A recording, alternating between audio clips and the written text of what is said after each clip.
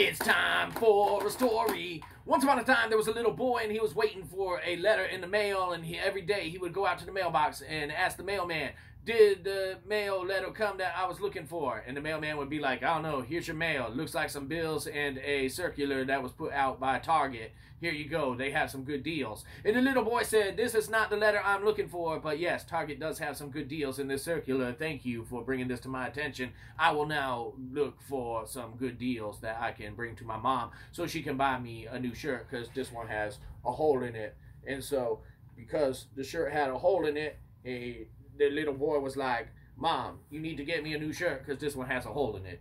And that's it. Uh, give us money. Look, our hole, our clothes have holes in them. You should feel bad for us and give us money. Have a good one. You probably didn't. We'll catch you next time. Probably won't. The end.